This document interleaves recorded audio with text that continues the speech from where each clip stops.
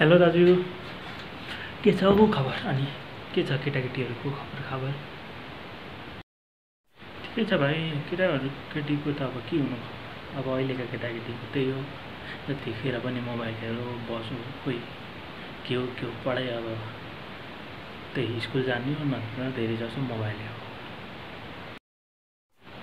मेरो त भाइ ठिकै छ। अब केटाकेटीहरूको के कुरा गर्नु? मोबाइल हेर्छन् बस्छन्। अब यसो अलिअलि पढ्छन् जतिखेर पनि मोबाइल खुट्ट्यायो बस्यो। खोइ के हो? के हो? यिनीहरूलाई अब के गर्नु के गर्नु?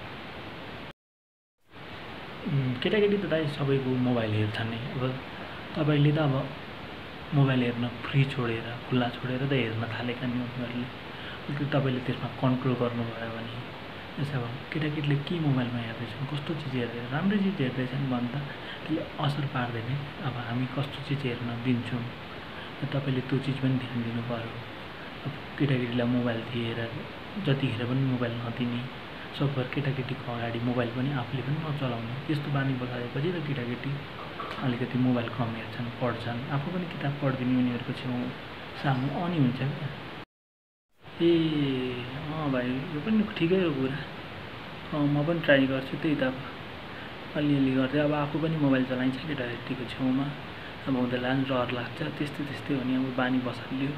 अब अलिअलि गर्दै यस्तै यस्तै त तिमीले भनेको जस्तो आइडिया अनुरूप गएर चाहिँ अब छुट्याउनुपर्छ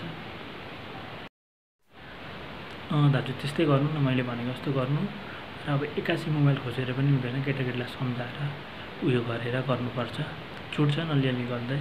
अलिकति अरूतिर ध्यान केन्द्रित गरिदिनुपर्छ केही राम्रो यसो खेलकुद खेलाउने यताउति गराउनु न।